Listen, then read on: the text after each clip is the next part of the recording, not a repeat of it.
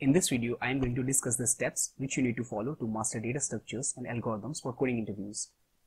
Also, I will provide the link of all the important resources in the description.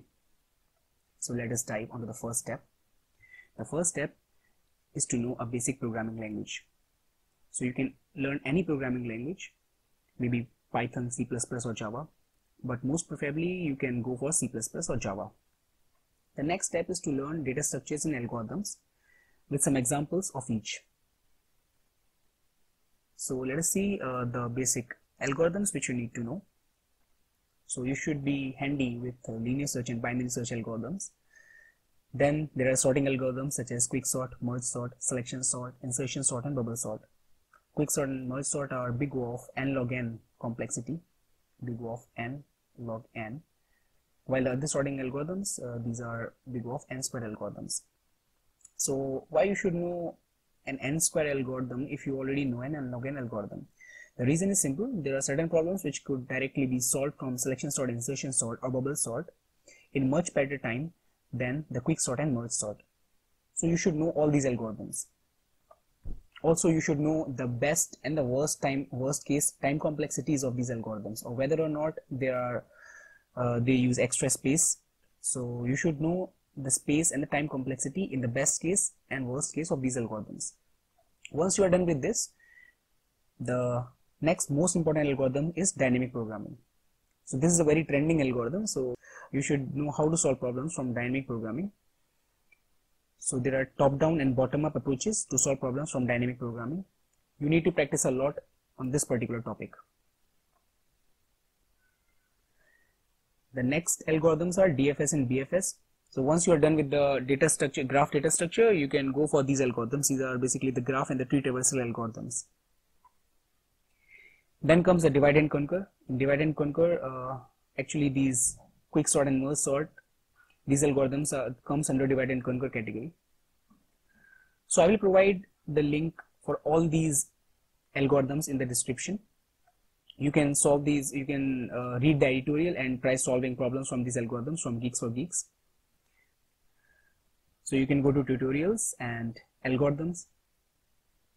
In the algorithms you can see the sorting algorithm the searching algorithm graph algorithms and divide and conquer dynamic programming. So suppose you go to dynamic programming. You can read about dynamic programming from here.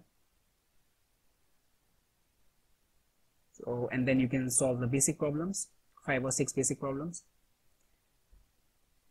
actually there are lots and lots of problems from this this particular topic. You can try solving a certain basic problems then move on to the next topic. You can go to other algorithms. Let's say we are going to the sorting algorithms.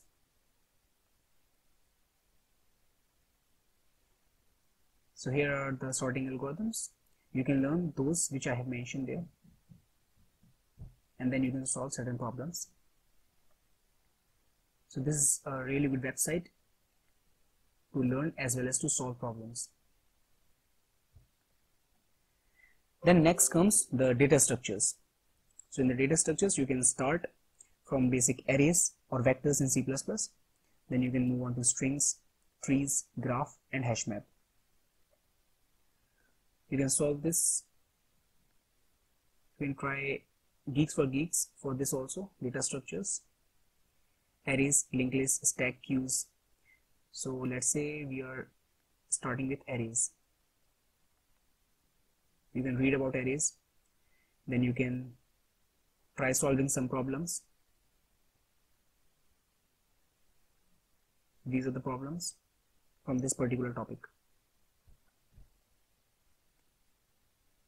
so once you are done with all these algorithms and data structures now you can finally move on to the third step which is practicing on online platforms so I have a list of online platforms here. CodeChef, Geeks for Geeks, LeetCode, Codeforces, HackerRank. You can start from Geeks for Geeks. You can solve LeetCode. I'm also uploading problems from LeetCode. I'm trying my best to upload all the approaches to solve a certain problem. So then you can move on to HackerRank. Then there are certain advanced platforms such as CodeChef and Codeforces. These are for advanced competitive programmers. Once you are done with certain problems from these websites you can move on to more advanced platforms such as Codeforces and CodeChef.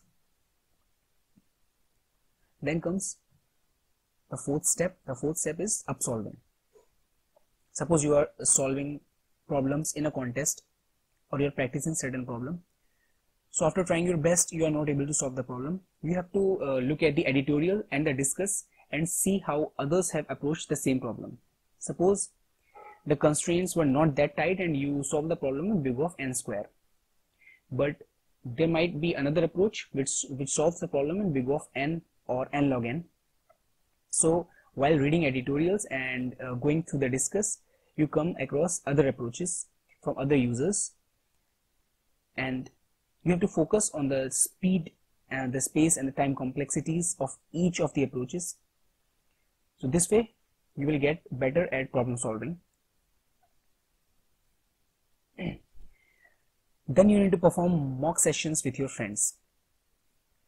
So what I mean by this is there are so many online platforms and so many places from where you can learn and uh, try problem solving.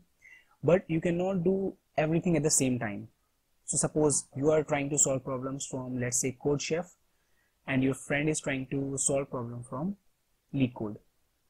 So you can have a discussion with your friend and he will ask you a uh, problem from the platform on which he's uh, solving problems and you will ask the questions from the platform on which you are solving the problem. So this will be like a mock interview. You will be interviewing your friend and your friend will be interviewing you. So you can uh, do this on weekly basis or whenever you get time so this step is really very important. So the next step is to practice a lot.